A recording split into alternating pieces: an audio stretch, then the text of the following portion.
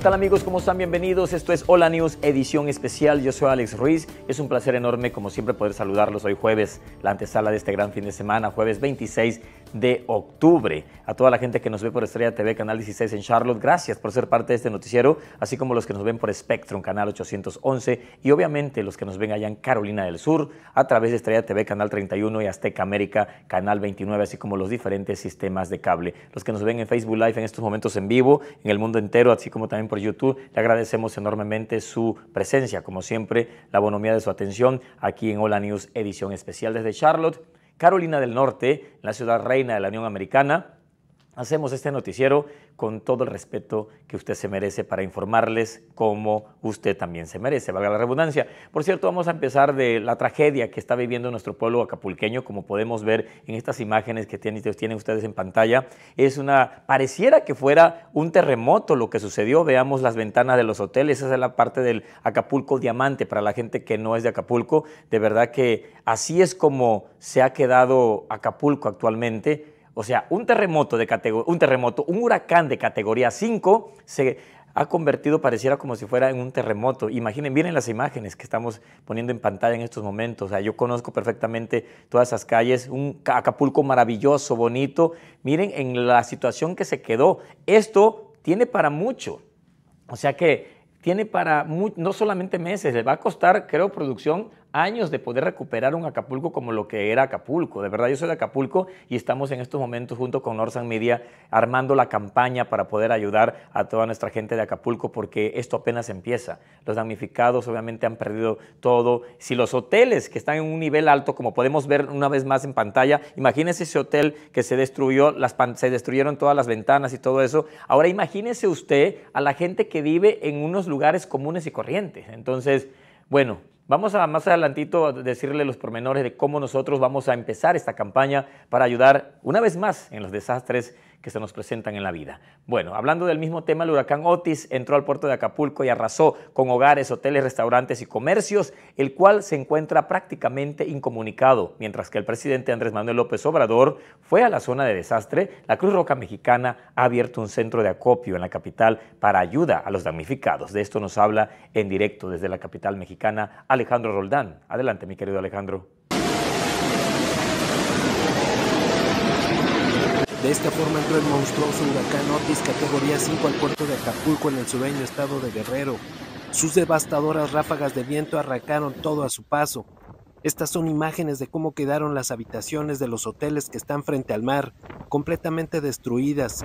Los vientos sostenidos de Otis alcanzaron las 165 millas por hora, por lo que a su paso todo lo fue arrancando. Y los vientos estuvieron a todo lo que da, 260 o más y me escondí en el closet. Estas imágenes son de la costera Miguel Alemán, una de las avenidas principales en Acapulco. Otis arrancó las impresionantes palmeras y las azotó al suelo dejando toda una escena devastadora. Las fachadas de los edificios fueron arrancadas como si fueran hojas de papel. En el lugar no hay agua, comida y combustible. Y aquí propongo que se cree un fideicomiso para la reconstrucción de Guerrero lo más sorprendente es que Otis se convirtió en un monstruo categoría 5 en pocas horas y se enfiló al puerto de Acapulco para descargar su energía convirtiendo a uno de los balnearios más importantes de México en escombros. El gobierno federal ya implementó la ayuda a la región mandando camiones de la compañía de luz para restablecer la energía, además de que desde la Ciudad de México están saliendo ambulancias, carros y bomberos y vehículos de emergencia para ayudar a la población.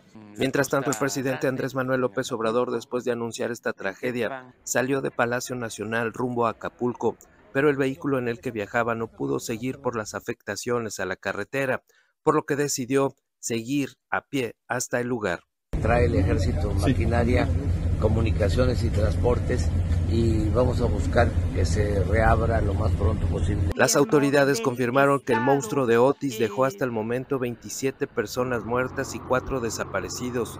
Estas últimas señalaron se trata de elementos de la Marina Armada de México, además de dejar un saldo de un millón de personas afectadas. En Ciudad de México, Alejandro Roltán, Hola News, edición especial.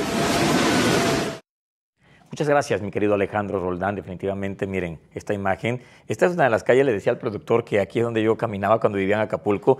Muy bonito Acapulco y miren la imagen cómo quedó. O sea, pareciera un terremoto. Cabe de mencionar que no hay comunicación todavía con la gente de Acapulco. Yo tengo familiares y conocidos y todavía no he podido comunicarme, así como no hay internet, no hay nada, o sea, se queda ahí en el inbox. Yo estaba a punto de ir a Acapulco, mientras estamos viendo esa imagen les cuento, yo el martes me iba a Acapulco, pero no, el avión no me permitió subir porque no había manera de llegar de la Ciudad de México a Acapulco. Empezaba apenas la tormenta, o sea, como tormenta tropical, y después se intensificó y obviamente me dejó el avión, me quedé yo aquí y regresé yo a grabar, a hacer el noticiero, y bueno, pues imagínense en lo que terminó todo esto. Si no, estuviera en estos momentos yo también incomunicado, pero bueno, más adelante podremos hablar un poquito de cómo ayudar a Acapulco. En categoría 5 entró a las tierras costeñas de Guerrero. Imagínense, una categoría de las más altas que puede existir. O sea que la categoría 5 es para destruir, como lo que, como lo que vemos en las imágenes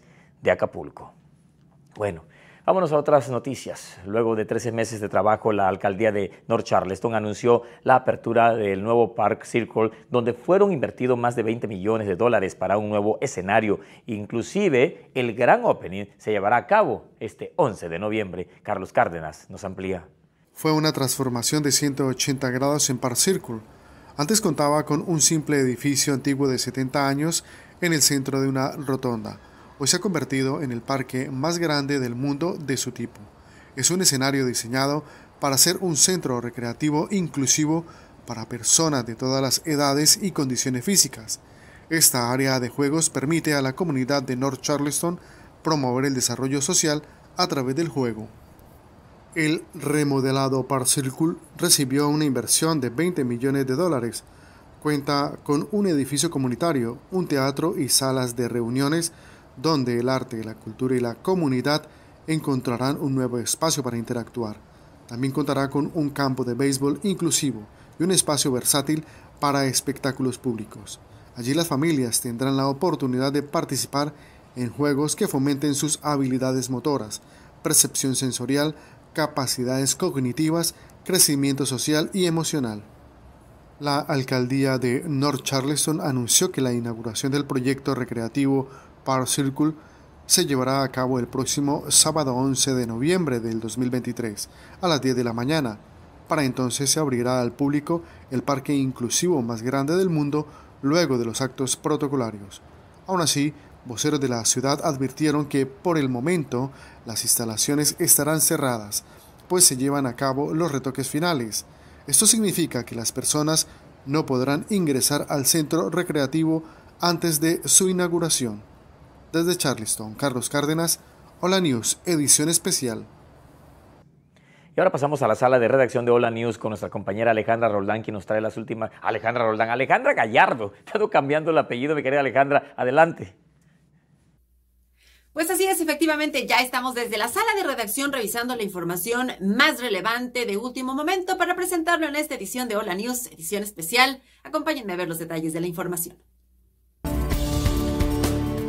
Al menos 16 personas murieron y decenas resultaron heridas después de que un hombre armado abriera fuego en una bolera y un bar en la ciudad de Lewiston, en el centro de Maine, dijeron las autoridades el jueves temprano. La policía identificó a Robert Card, de 40 años, como una persona de interés en el tiroteo. Permaneció prófugo horas después de que se escucharan los disparos. La policía advirtió que debería ser considerado armado y peligroso. Un carril está bloqueado debido a un accidente que involucró a un camión de concreto en Monroe, según Union County Communications. El incidente ocurrió alrededor de las 5 a.m. en la US 74 en dirección este, cerca de Pageland Highway. Las autoridades dijeron que un vehículo chocó con un camión de concreto, lo que provocó que el concreto se derramara sobre la carretera. El carril en dirección este de la US 74 ahora continúa bloqueado debido al accidente. No está claro si alguien resultó herido. El miércoles, la Cámara logró elegir un nuevo presidente más de tres semanas después de que la destitución del representante Kevin McCarthy dejara la Cámara sin líder. Los republicanos, que tienen una estrecha mayoría en la Cámara, lucharon por unirse en torno a un nuevo candidato para tomar el mazo del presidente, pero tuvieron éxito el miércoles con la nominación del representante Mike Johnson. El republicano de Luciana fue el cuarto republicano en competir por la presidencia. pues con esta información regresamos cámaras y micrófonos hasta el estudio de Hola News, edición especial. Regresamos cámaras y micrófonos para mantenernos muy bien informados. Muy buenas tardes. Gracias, mi querida Alejandra, por la información. Nosotros ahora continuamos con más noticias. La sinagoga de la ciudad de Charlotte inició una recaudación de dinero en apoyo a las víctimas del conflicto armado entre Hamas e Israel.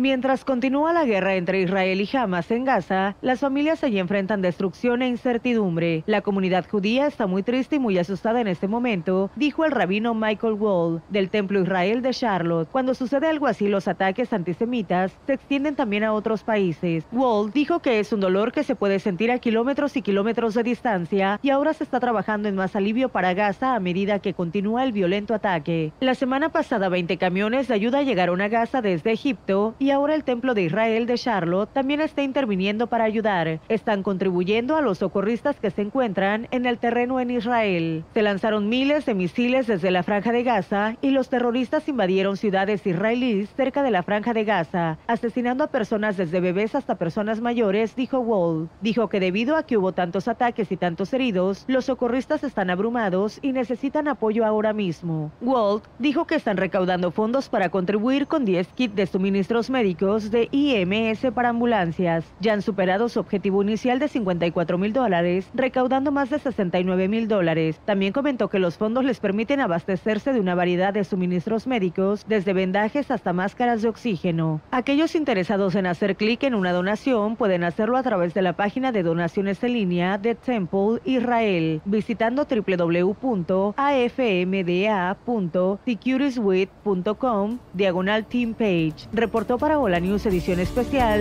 Lilia Salgado.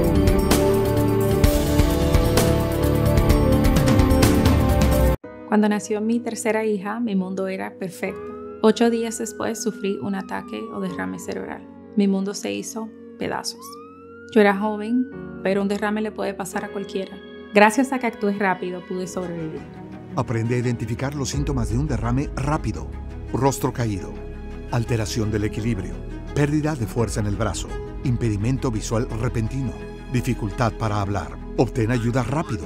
Llama al 911. Todos los días era lo mismo. Hacía de todo para que nadie se diera cuenta de lo que me sucedía pero a mi estómago no le importaba dónde estaba y el dolor reaparecía. Tras muchas veces de casi no llegar al baño y de perder peso, tenía que hacer algo. El Crohn's and Colitis Foundation me ayudó a atender lo que me sucedía y a encontrar un especialista. No oculte sus síntomas, busque ayuda. Visite revelatuinterior.org. Escucha la mejor música latina en Latina FM, con estaciones en tres estados. Siempre estarás cerca de Latina Radio DJs en vivo desde el estudio, siempre tocando música con todo el sabor latino. Escucha a las más grandes estrellas. No fue culpa tuya y tampoco mía. Reggaetón. Tú no eres bebecita, tú eres bebesota. Friquita, una más Tropical. Papi, dame un consuelo, Descarga nuestra aplicación y llévanos a cualquier parte. Síguenos en redes sociales y participa para ganar entradas a los mejores conciertos. Latina, tu música. Presentado por tus concesionarios Toyota locales. Vayamos juntos. Visítanos hoy.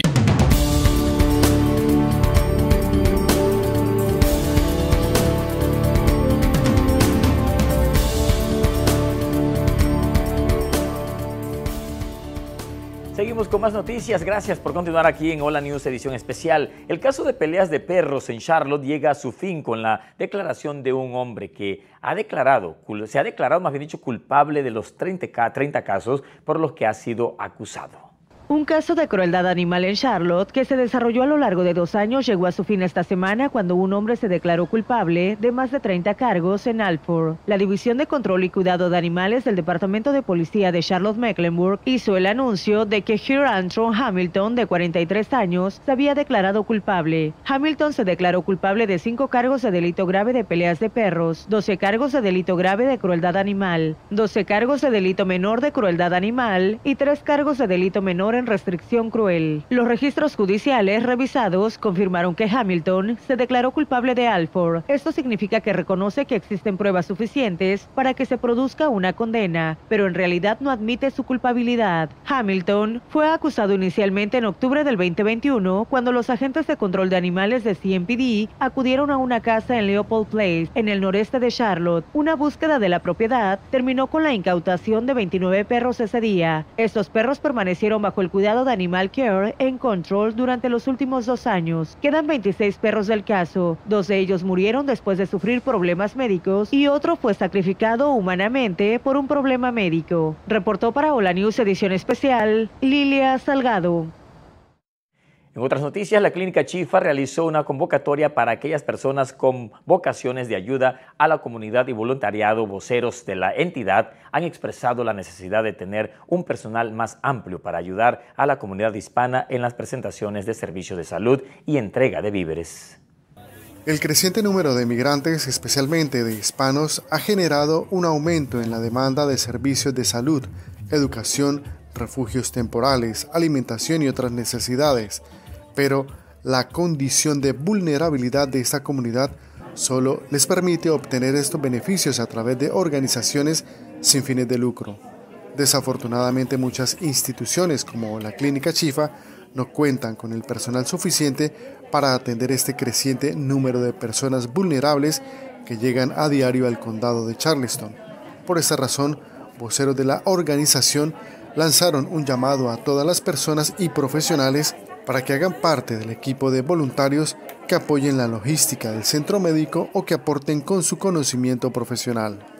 Y nos gustaría hacer un llamado para toda la población latina, no latina, que nos puedan ayudar y se puedan incorporar, porque los recibimos con las puertas abiertas, el, corazón abierto también para que puedan venir y saber un poco más de la misión de Shifa Clinic puede ser desde eh, ayudar a toda la registración del paciente, también ayudar a la despensa de la distribución de la comida o simplemente si quieren hacer cosas para aportar a su carrera a largo plazo, también pueden venir y hacer horas para voluntariados también. Afortunadamente el personal de instituciones como bomberos, policías y del ejército se han sumado a esta tarea. Voceros de la clínica Chifa indicaron que las personas interesadas pueden aplicar a través de la página web de la institución. Desde Charleston, Carlos Cárdenas, Hola News, edición especial. De esta manera vamos a darle un vistazo a las condiciones del tiempo para que usted se prepare para el día de mañana viernes. Aquí tenemos la información.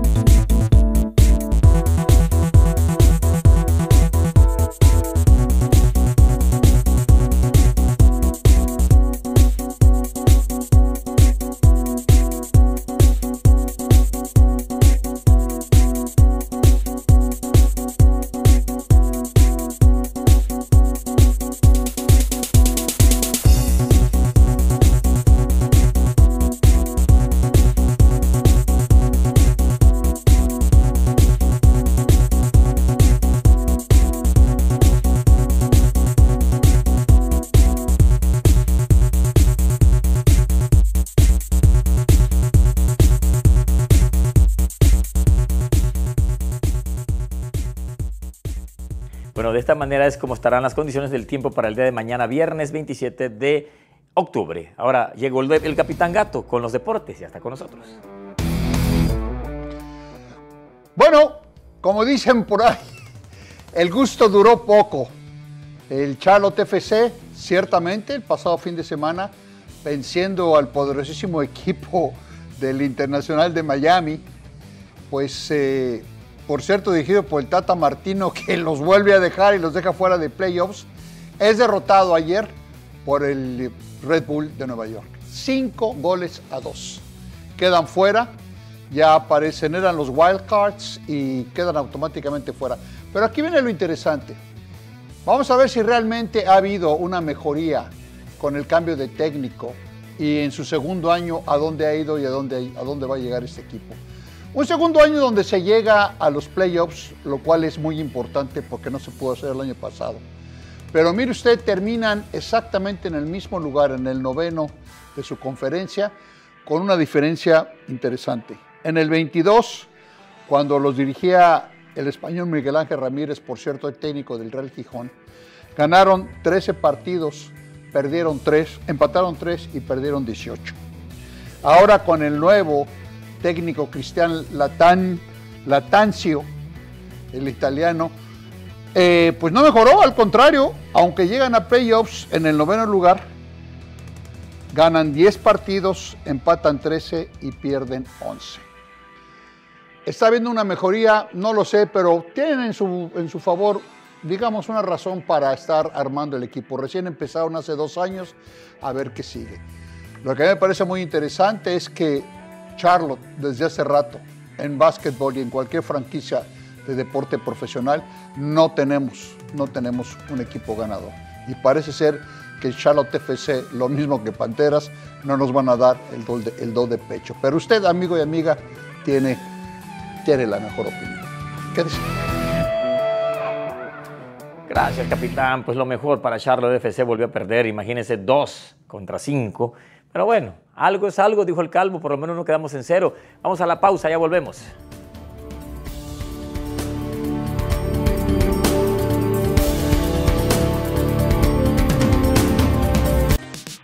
Escucha la mejor música latina en Latina FM.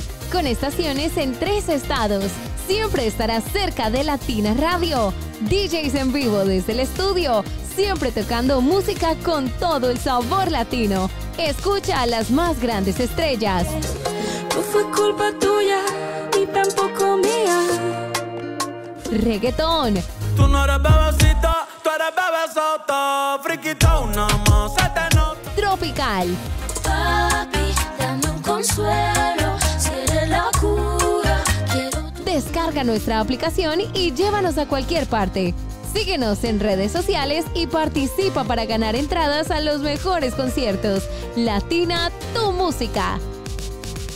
Cuando nació mi tercera hija, mi mundo era perfecto. Ocho días después sufrí un ataque o derrame cerebral. Mi mundo se hizo pedazos. Yo era joven, pero un derrame le puede pasar a cualquiera. Gracias a que actué rápido pude sobrevivir. Aprende a identificar los síntomas de un derrame rápido. Rostro caído, alteración del equilibrio, pérdida de fuerza en el brazo, impedimento visual repentino, dificultad para hablar. Obtén ayuda rápido. Llama al 911. Todos los días era lo mismo. Hacía de todo para que nadie se diera cuenta de lo que me sucedía. Pero a mi estómago no le importaba dónde estaba y el dolor reaparecía. Tras muchas veces de casi no llegar al baño y de perder peso, tenía que hacer algo. El Crohn's and Colitis Foundation me ayudó a atender lo que me sucedía y a encontrar un especialista. No oculte esos síntomas. Busque ayuda. Visite revelatuinterior.org.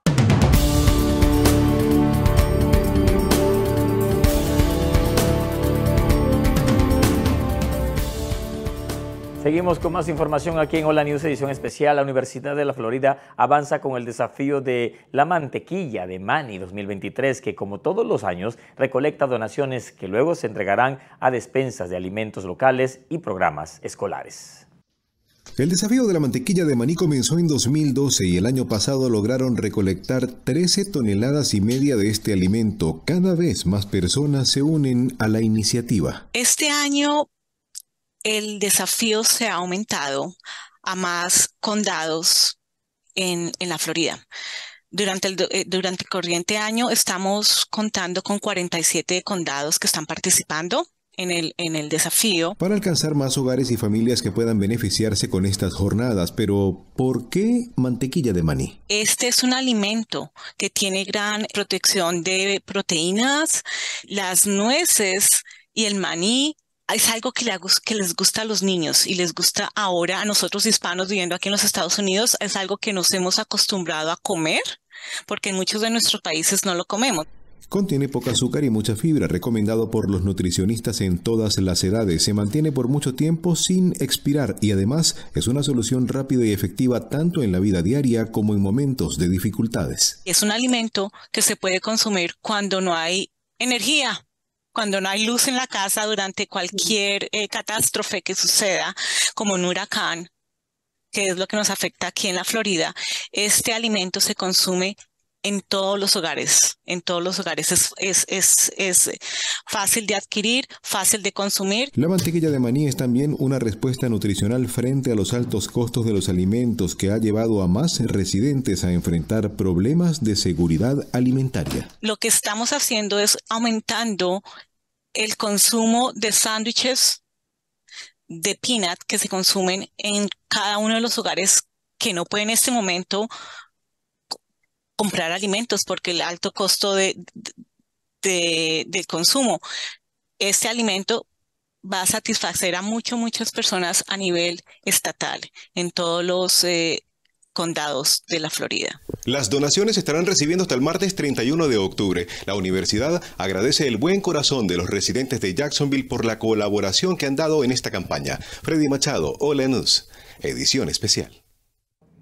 Por otro lado, una organización sin fines de lucro de Charlotte está buscando soluciones para eliminar los llamados desiertos de libros de la ciudad reina. Lilia Salgado nos amplía.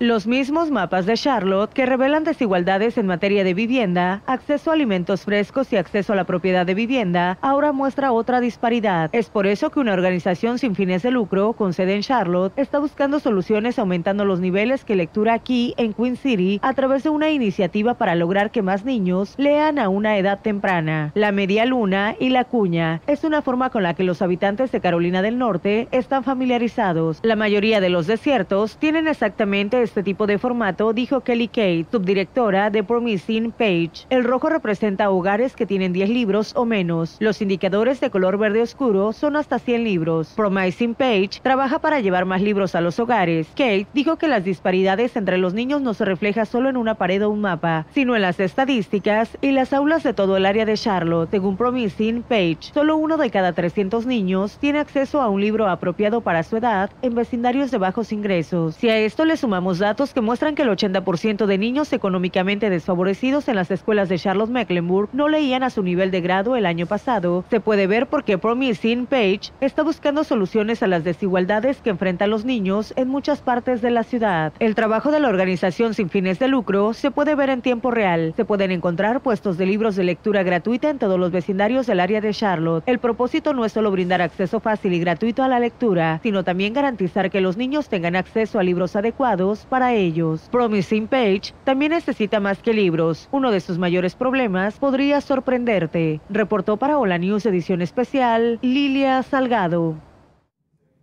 Muchas gracias y bueno, de esta manera llegamos al final de este noticiero. Tenemos una cita muy importante mañana. Mientras tanto, siga disfrutando de la programación de Norsan Media. Una vez más, muy agradecido, muy agradecido y muy agradecido. Soy Alex Ruiz.